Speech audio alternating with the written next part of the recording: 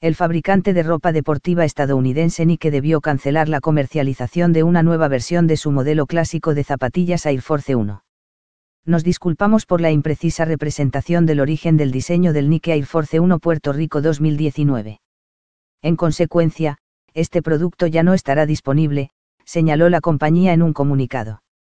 Aunque la nueva zapatilla de Nike fue concebida como un homenaje a Puerto Rico, su lanzamiento fue objetado por parte de la comunidad indígena Guna Odule, originaria de Panamá y Colombia, que denunció que el modelo usaba su patrón tradicional conocido como mola.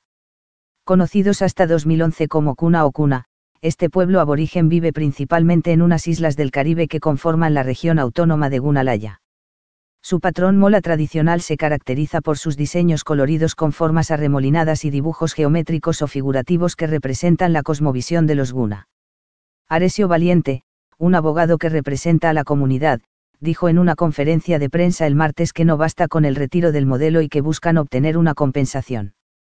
Ya hubo un daño porque se utilizó nuestro diseño, que es parte de la espiritualidad del pueblo guna. Por lo tanto, tiene que indemnizar la empresa, ni que, porque fue una copia ilegal de nuestros diseños, dijo. Belisario López, un líder tradicional de la comunidad, dijo en una declaración que no se oponen a la comercialización del mola pero que les molesta que esto se hiciera sin haberles consultado antes.